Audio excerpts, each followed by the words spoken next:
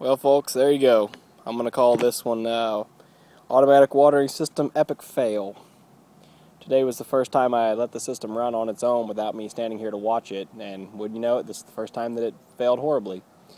So, uh, I had set the run times to be 8 minutes for each bed, and you can see the first two worked well, which is good at least. And then when I got to this bed, this little compression fitting here decided to blow apart, and I wasn't home to see it happen or fix it.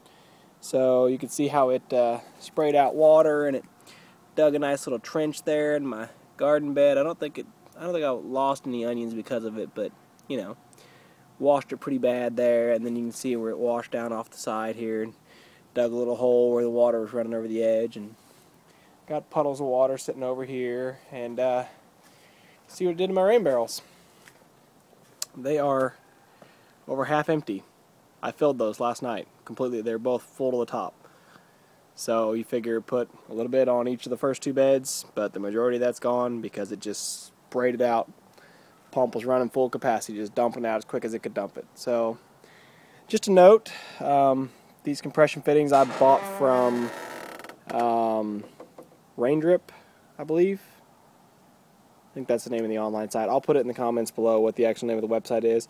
And I was really happy with the fittings at first. They were the cheapest I could find. They had good shipping. Everything was really good.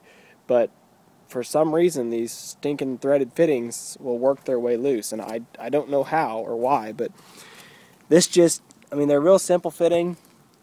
That little sleeve, and actually you can even see how it's belled a little bit. That sleeve slides over this nipple right here.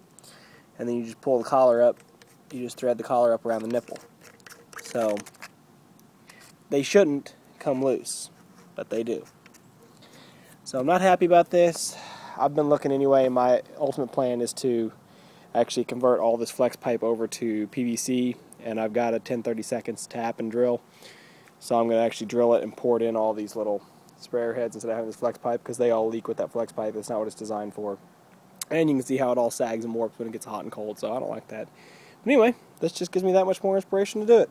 So make sure your fittings are tight.